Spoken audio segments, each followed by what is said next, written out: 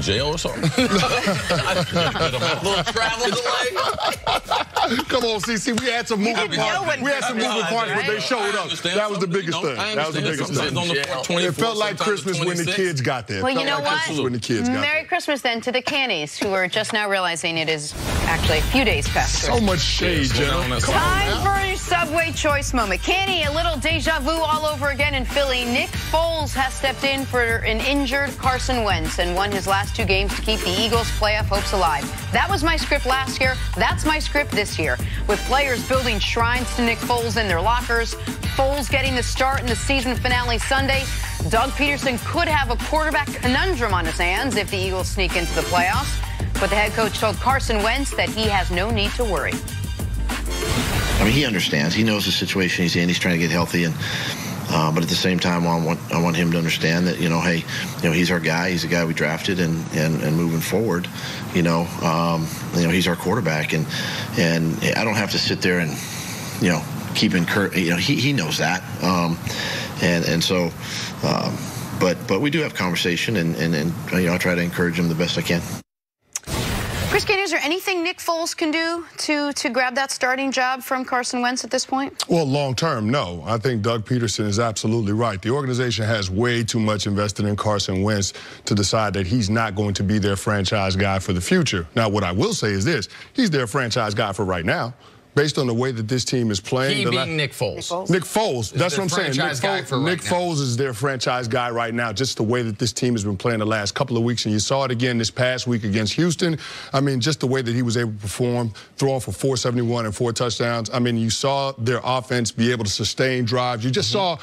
saw uh, uh, overall, overall energy raised to another level with this team. And I think that's the most impressive part about what Nick Foles has been able to do. It's not necessarily from the X's and O's standpoint, but what I'm seeing in terms of overall play of the team. And so I think this team is starting to build some momentum. And if they just so happen to be able to get into the postseason, if they can take care of their business on the road in the division against the Redskins, and somehow, some way, Minnesota stumbles against the Chicago Bears, I mean, this is a dangerous Philadelphia Eagles team because they did it before. They've got the confidence that they can perform in the postseason. So uh, I just look at this Nick Foles situation and say he's probably the guy that needs to be under center for the Eagles right now. He he is definitely going to be the guy under center right now. And I think this is very simple. I don't think it's complicated. I think that Carson Wentz is the starting quarterback for Philadelphia, first game of 2019, unless Philly goes to the Super Bowl again.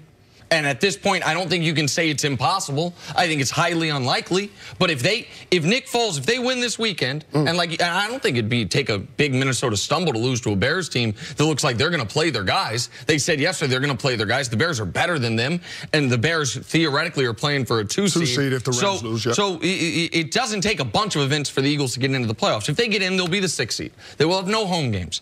If Nick Foles wins three consecutive road playoff games to get back to a Super Bowl. And that would be what? The Bears, the Saints, and the Rams? It, most likely. Most likely, we, yeah. It was some combination of that. Mm-hmm. Then the then I don't know that Doug Pederson knows who his quarterback is. If anything else happens, eh, he does know. It's Carson Wentz. If they don't get in, if they get in and they lose in the first round, if they get in and they win a playoff game and lose in the second round, then all as soon as Nick Foles loses a playoff game, all of this, a lot of this shine goes away and you start thinking more logically. Like, but if if this run continues and the Eagles as a six seed go to the Super Bowl with Nick Foles, a team that looked like they were dead in the water, were six and seven when he took over. And if they win six straight games, including three road playoff games, then it's a conversation this offseason. Then Howie Roseman is absolutely fielding calls about Carson Wentz. Now, I don't think it's going to come to that because I think it's. If all that happens, you're going to lose up, lose all your wishes for the rest of your life. I wish this, I wish this, I wish, I wish. Let me tell you what, if Carson Wentz in the next month, if he's healthy, and he passes, if he can pass a physical, if he can pass an x-ray, he don't have broken bones in his back, he's going to be in the lineup. It's just a matter of NFL. This guy is better than that guy. And you guys, are, we've seen the last couple games, the team has played so much better around him. Let me tell you what the Eagles organization, I got tired of telling people this last year. You practice more in the NFL than you play in games. So we as players know who are the best players because we see them in practice. Nick Foles, one of the reasons why you're a backup in the NFL is why can't he? Because you're inconsistent. Mm-hmm. That's what backup quarterbacks are. If he wanted to make an, um, if he wanted to really make a, a push for this job, when they started the season as a world champs. What did he do?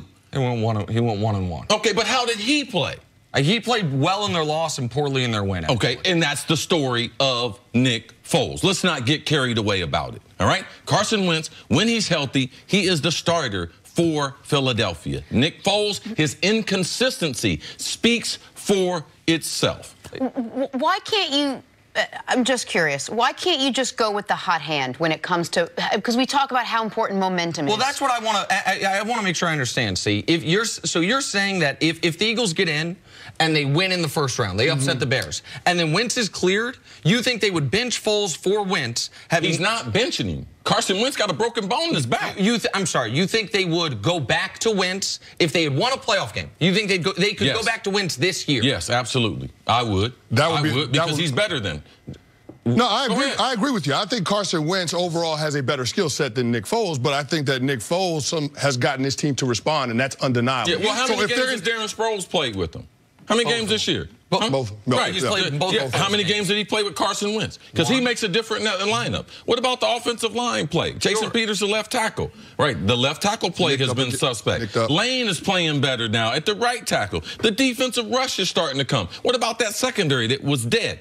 What if the defensive back that reads Amari Cooper's route picks it and goes? Yes, absolutely. I, I, don't think anyone disagrees with that. And I want to make this very clear. Mm. I am not predicting that the Eagles are going to go to the Super Bowl. Yeah. I'm not predicting that they're going to make a make a playoff game. Yeah. But let me ask. I, I want to ask you the same question I asked Chris. The scenario he laid out, mm -hmm. which is let the, the Eagles make the if the Eagles make the playoffs and if they win a playoff game, and that week Carson Wentz is cleared full go. You're Doug Pederson. Do you make the quarterback change? I think it'd be hard to justify that just based on what Nick Foles would have done to that point. And so going on the road and actually winning a playoff game, I mean, that says something. And that's coming off of what he did last year in the postseason. Now, I'm with you. I don't you think... You guys keep was... saying what he did. What about the rest of the team? Like, are we missing this?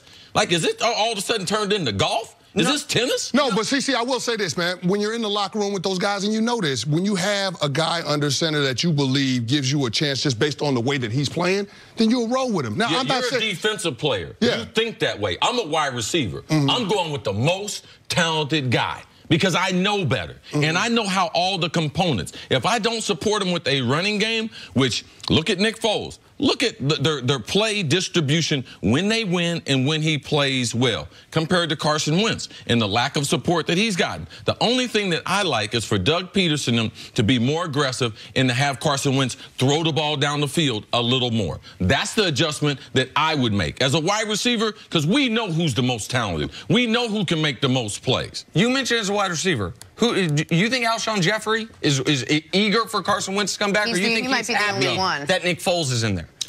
He knows it's not Carson Wentz's fault that he's not being directed on the on the routes sure. down the field. He he knows better than that. What I will say this: the explosive plays in the offense they just showed up in the last couple of weeks, and you saw it again against the Texans. They had eight plays of 20 yards or more. I, I just I, I, can't dismiss the fact that Nick Foles is a part of what we're seeing in terms of this Eagles offense being more aggressive and being more explosive. And, and I want to ask you one question about something we talked about before the show, which is you talked about in the locker room. I know everyone who watches football knows Carson Wentz is a more talented quarterback. Yes. But in the locker room, they saw the hit we were talking about. What Jadeveon Clowney did. His helmet to the sternum, as we were talking about before the show. Yeah. And Nick Foles missed one play, yeah. came back and drove him down yeah, the field. that's your job.